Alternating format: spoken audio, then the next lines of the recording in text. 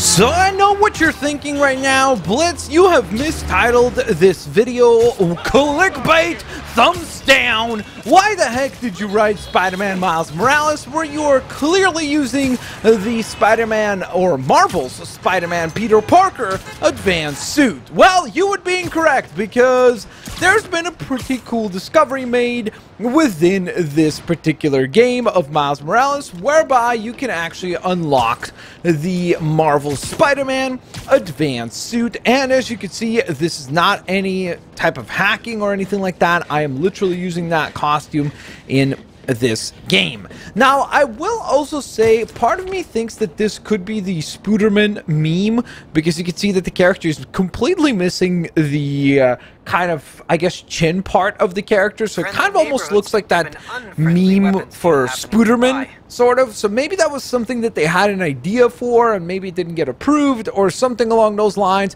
But the cool thing is that essentially, as you can see, we do have the advanced suit playable in the game. So you might be wondering, how the heck can I do this as well? Well, first and foremost, what you're going to have to do is pause the game, go into suit selection, and then you're going to go on ahead and select whatever costume you would regularly select. So let's say in my case, we're going to kick things off with the Great Responsibility costume.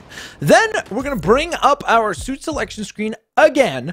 We're going to uh, bring it up, select a suit that you're not wearing. Now, when I say select, I don't mean actually click to select. So let's say we're going to hover over, just for the sake of this example, the classic suit. Now, before clicking to select it like you typically, you, typically would with just pressing X, what you're going to do is you're actually going to hover over that suit and then you're going to press circle and X together.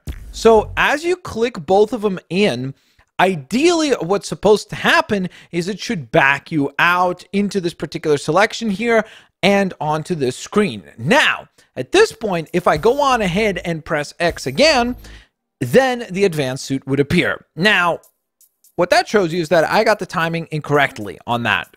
So we're going to hover over this and we're going to hit the button again and then press X again and check it out. You can see the advanced suit has now suddenly appeared over here. So I'm going to bring it up and then as you can see, I have the advanced suit now equipped within Marvel's Spider-Man Miles Morales. Now again, like I mentioned, it does seem to be kind of odd as far as like the mouth or the head, it, it definitely seems completely out of position and improperly uh, designed. But aside from that, you can pretty much use the suit like you regularly would, apart from a couple of key differences. So first and foremost, when you're using the suit, you do not have access to your Venom Shock ability. So if you use your Venom Shock abilities, you can actually crash your game.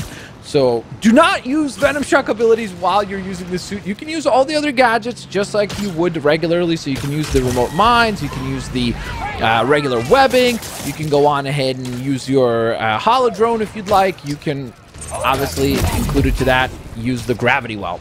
The other thing that's really interesting as far as like glitches or weird um, elements that get changed out when you're using this particular trick is that you can't actually do tricks. So if you don't know, typically, if you're just web slinging as any of the other Spider-Mans, you can do tricks by holding down the buttons uh, uh, for, uh, what is it, uh, square and uh, triangle, and then holding down one of the directions, whether it be up, down, left, right, and your Spider-Man would then be doing tricks.